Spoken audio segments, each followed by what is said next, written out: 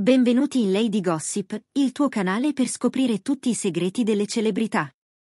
Perla Vatiero, dopo Temptation Island, non se la sente ancora di esporsi su quanto è accaduto.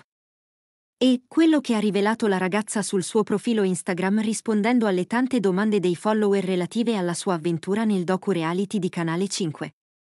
Sono stanca, tra il lavoro e organizzare la mia vita come ben sapete non è semplice e non è stato semplice.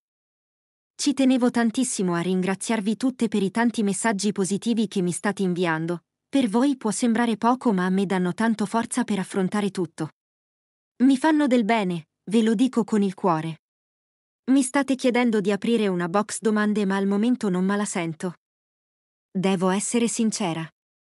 Sicuramente nella risposta uno deve esporre la verità di quello che pensa ma ora non la sento di espormi. Sto vivendo un periodo abbastanza complicato. Alla fine della loro partecipazione nel viaggio dei sentimenti condotto da Filippo Bisciglia, Perla e il suo fidanzato Mirko si sono lasciati dopo cinque anni di relazione. Mirko è già ufficialmente fidanzato con l'ex tentatrice Greta Rossetti per cui ha perso la testa nel resort di Pula e con cui ad oggi sembra più affiatato che mai. Per loro, già presentazioni in famiglie. Tatuaggi e romantiche dediche sui social. Per ciò che concerne Perla, dopo la conclusione del reality è stata avvistata con alcuni suoi ex compagni d'avventura tra cui Igor Zetti, l'ex tentatore con cui la ragazza ha avuto un flirt nel villaggio. Lavatiero e Igor. A differenza di Mirko e Greta, hanno dichiarato di voler procedere a piccoli passi e di voler conoscersi meglio fuori dal programma senza affrettare troppo i tempi.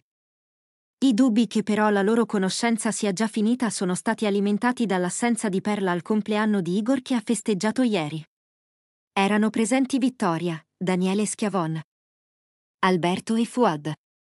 Igor ha condiviso anche una serie di auguri da parte delle persone più care ma della giovane salernitana non c'è stata nessuna traccia. Riuscirà Perla a voltare pagina?